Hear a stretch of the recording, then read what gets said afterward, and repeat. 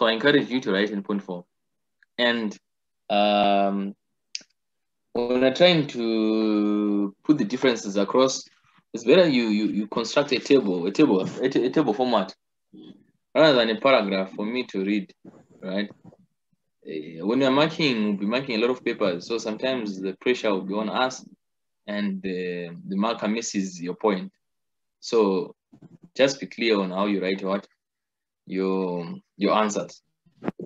And then probably the last section it's it's on um how you present uh, matrices in ARA, right?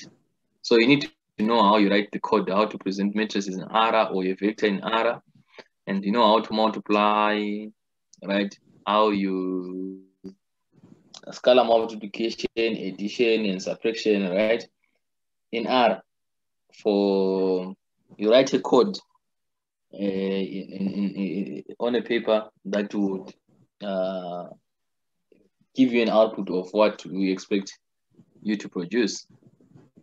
If there is a necessity of a package, you need to specify, all right? So yeah, I think that's basically section A. Then section B, uh, if it reminds me well, you've got a question on data cleaning and data manipulation. I'm sure there's a question that I gave you on the tutorial, right?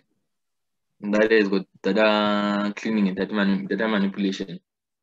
Try to play around with the, the work questions that I gave in the tutorial.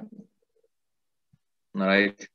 And uh, the question that I gave you on the assignment of probability, uh, was it, yeah, it was a test on probability theory.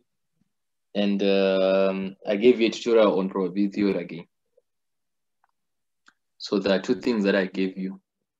Um, the one on the tutorial with uh, data cleaning and uh, tutorial again on probability. And the other section, uh, you need to know what? Yeah, I think basically that's it. That's that you must you must know.